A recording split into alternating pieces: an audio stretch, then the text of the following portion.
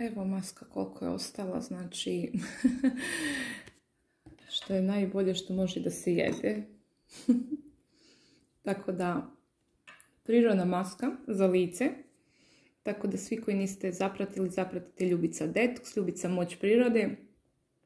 Izlazi novi tri videa sa prirodnim maskama koje radim ja za moje lice, tako da vidimo se u sljedećem novom videu. Ljubim vas puno, Ljubica Detox, Ljubica Moć prirode.